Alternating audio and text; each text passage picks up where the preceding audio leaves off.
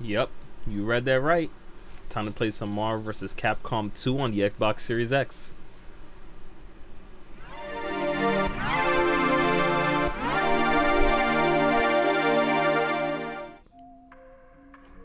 Yes, you are seeing this correctly. Marvel vs. Capcom 2 running on the Xbox Series X. I know for a lot of people, this is a game that they would like to play, especially if they purchased the game on the Xbox 360, or maybe they want to play it just, you know, just general and period. It's not out anywhere as far as the PSN store. It's not out on the Xbox store, um, you know, due to licenses and whatnot. Um, as you can see, this is running pretty clean. This is based, based off the Dreamcast emulator, Flycast, and you can see me playing really bad. I'm, I'm, I'm horrible at this. I'm terrible at this, but you know, it's it's it's it's a decent gameplay footage. But the way this is actually achieved is actually through uh, a development mode that you can actually access through backwards compatibility because of the Xbox One. The Xbox One actually had a development mode that you can actually sign up for on Microsoft, uh, one of their websites, where you pay around $20, gives you access to dev mode for your Xbox One, mainly for game development. Um, that's the main thing that they were using it for but someone was actually able to port over RetroArch um, for the UWP format, um, Universal uh, Windows Program, I believe.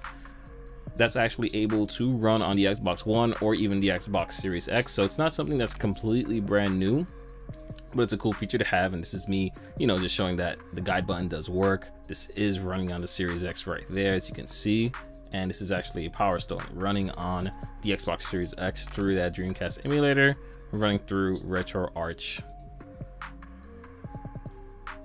Yep, testing out the sticks. As you can see, everything runs pretty smoothly, and I'll show you a little bit more in depth as far as how it's going to look as far as the XMB menu that they do have on RetroArch. It gives you a whole list of different, you know, cores, which is essentially going to be your emulators.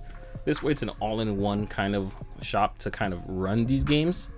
And as you can see, it's around like a little bit of a maybe, I'd say around like a five second, six second startup for each game.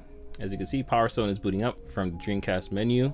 Does take a little bit. Again, it's not taking advantage of that SSD inside of the Xbox Series X or S. Don't expect huge differences in load times. This is strictly running the game as if it would be on a Dreamcast.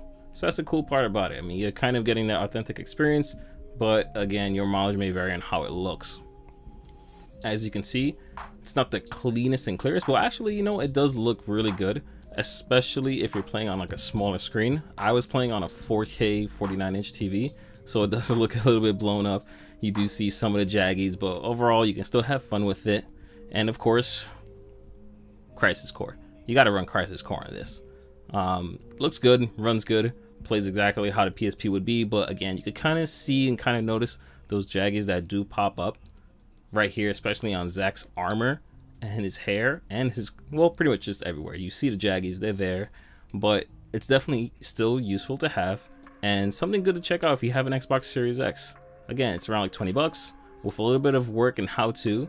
Um, you do need a computer to do this. And yeah, you can transfer over some of your backups and definitely check that out. All right, so that's all for me. Um, as far as emulation on the Xbox Series X and the Xbox Series S, that's definitely something to look into. If you have maybe, uh, you know, maybe curiosities about playing Super Nintendo, also maybe even PSP, Dreamcast, that's definitely possible and it's more than capable of playing all of those games and more. Uh, with a couple of hiccups, I'd say around like 95% of the time you'll have um, good use out of it as far as glitches and things like that, but overall it's still playable. Um, my take on it is that it's cool that it's there. Um, it's a little bit of an inconvenience to get into the developer mode, but that's something I would still look into if you're curious and um, want to spend that extra $20 for that dev mode on the Xbox uh, Series X or S.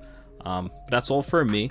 I'll catch you guys on the next one. Just again, please make sure you comment, like, subscribe. And if you want to see more videos, you know, throw down some comments if you want to see different games on these different emulators. Just let me know. Maybe I'll even do a Twitch stream on it. And um, yeah, I'll catch you guys in the next one. Peace.